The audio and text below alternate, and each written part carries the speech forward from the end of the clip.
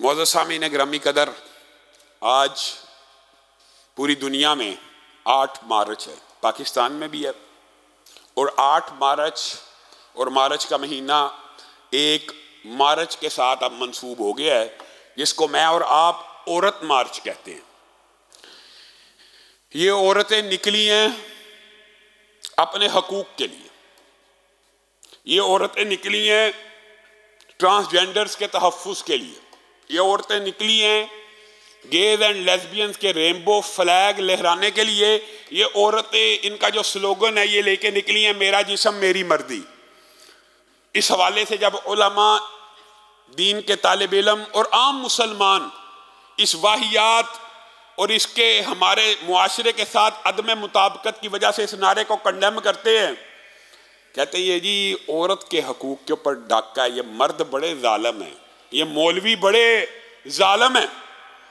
अल्लाह के बंदो, अल्लाह के बंदो, इस बात को समझो और इसका इबलाग करो।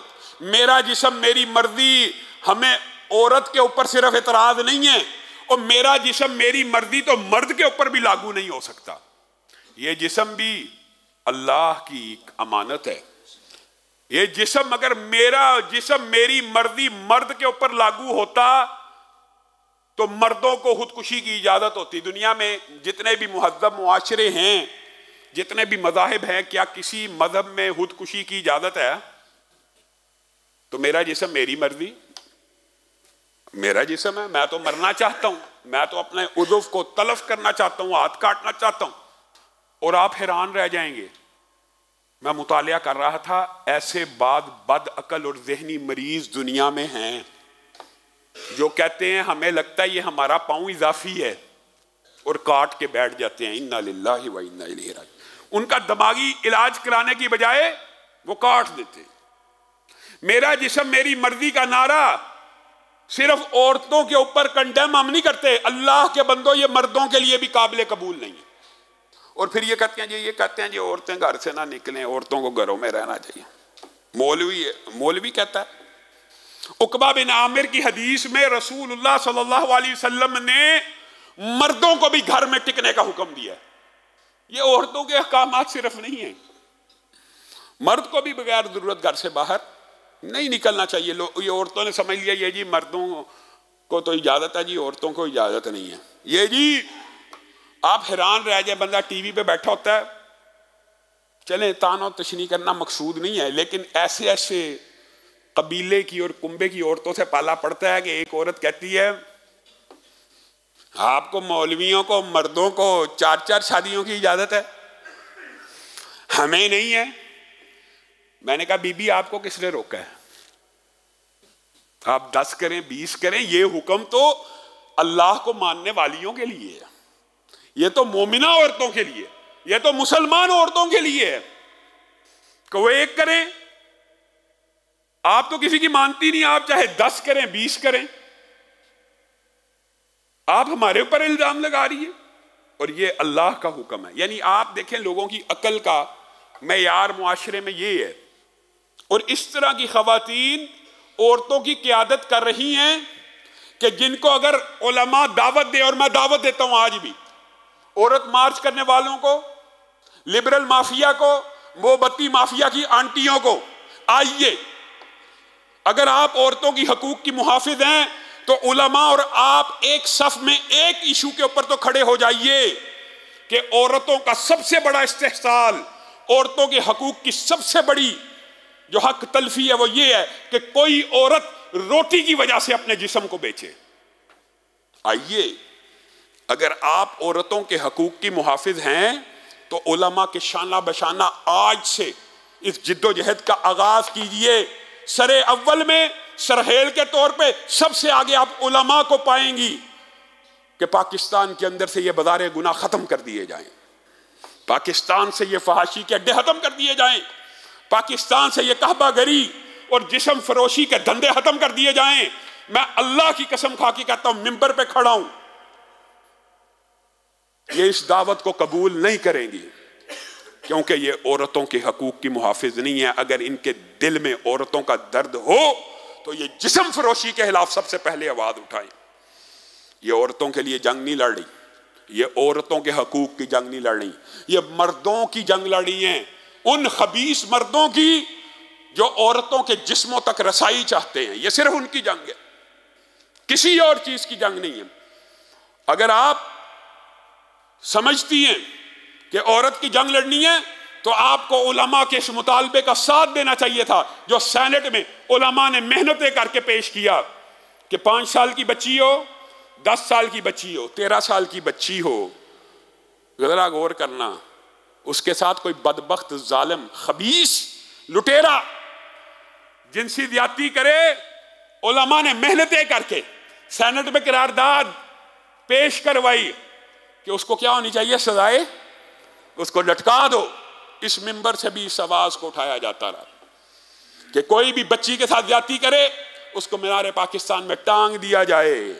अगर ये औरतों की हकूक की चैंपियन होती, और अगर इनको बच्चियों की इसमत दरी का जर्रा बराबर भी मलाल या दुख होता तो लमा का साथ देती। इन्होंने क्या किया?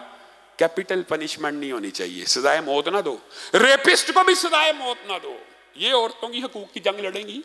आपको गुमराह किया जा रहा है। और इनका अल्लाह के फजल से पाकिस्तानी मुआशरे में कोई स्कोप नहीं है। एक अरसे से लगी हुई हैं। इक्का दुक्का, चंद खवतिन, पूरे पाकिस्तान का point zero zero one percent भी नहीं है, जो आपको नज़र आती हैं और बदबख्त ऐसी हैं। दो साल कबल, इन्होंने एक ऐसा बैनर लटकाया।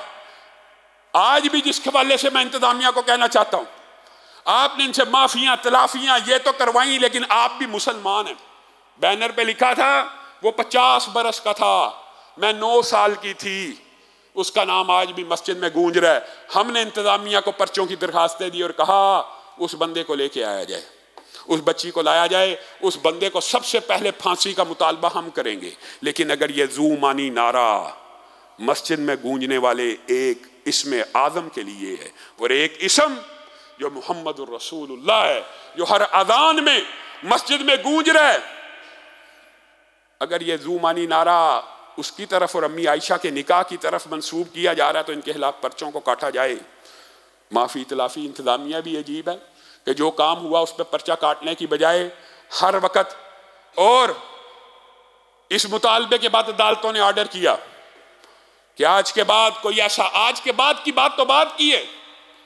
आप अगर इनको पकड़ेंगे नहीं तो आप इनके स्लोगन बढ़ते हुए देखते चले जाएँगे। आज मार्च है, देखिए क्या गुल खिलाती है।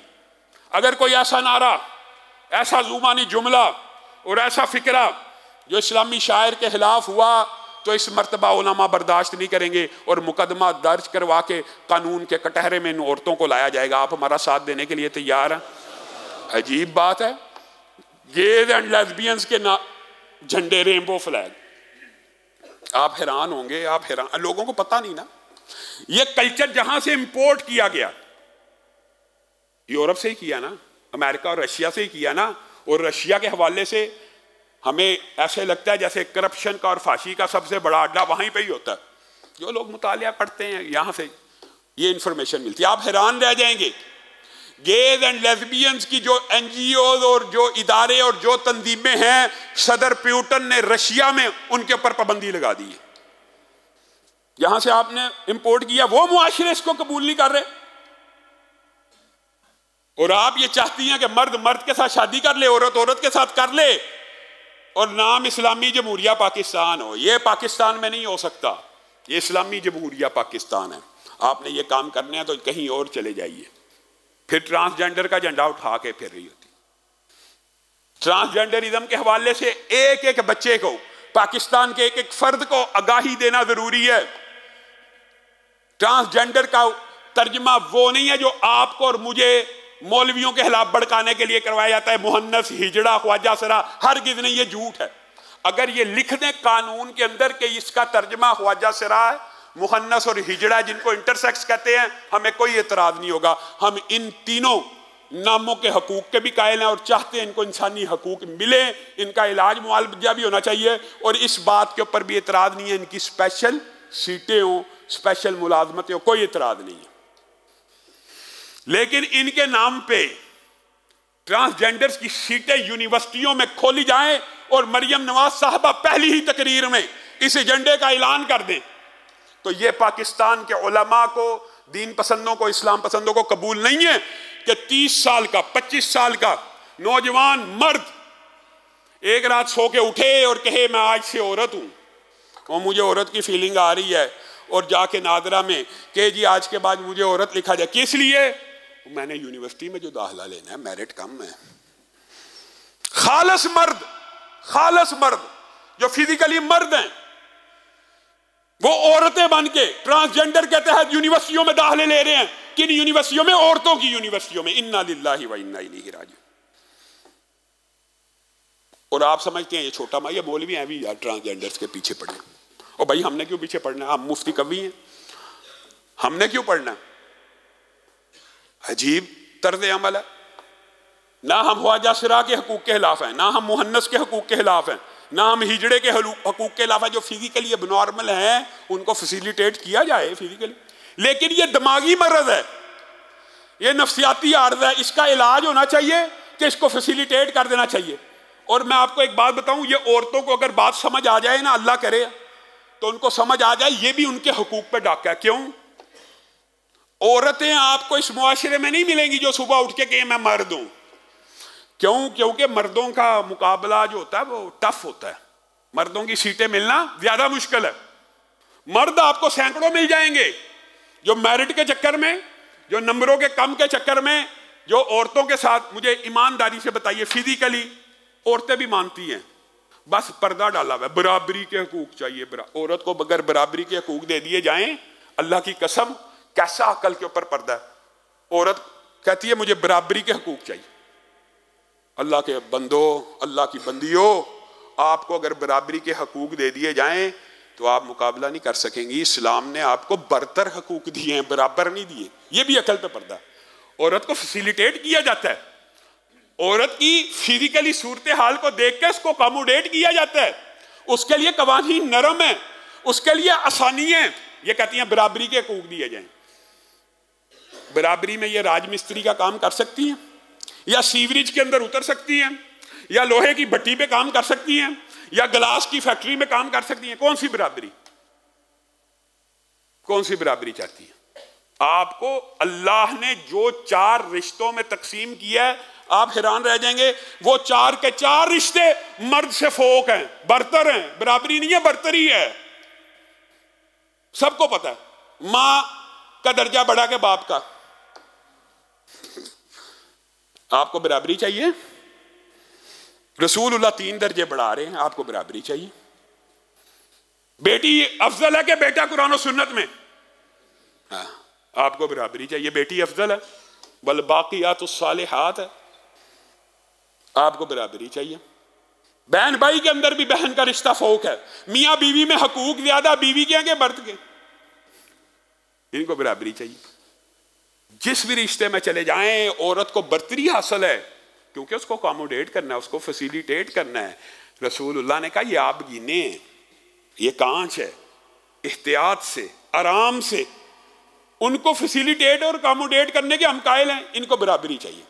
और आपके हक पे डाका डाला जा रहा है। आपकी सौ फ़ीसद नशस्तें, सौ फ़ीसद जो आपकी नशस्तें हैं, वहाँ पे ट्रांसजेंडर्स की नशस्तें रख के मर्दों को इजाज़त है। वो औरतें नहीं होते, वो मर्द होते हैं। साइकी केस, नफसियाती मरीज़ या धोखा देने वाले, पूरी ज़िंदगी मर्दों की तरह गुजार दी।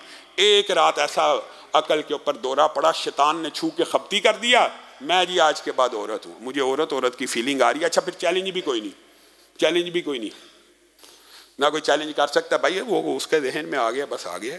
दिमागी मरज का इलाज होना चाहिए कि उसको प्रमोट करना चाहिए। अल्लाह रब्बुल्ज़त जो कहा गया, जो सुना गया, उसको समझने की तोफ़ी नायत फरमाए। सुबहान रबी का अम्मा यसिफ़ून व सलामुल मुरसलीन, वल्हम्दुलिल्लाह।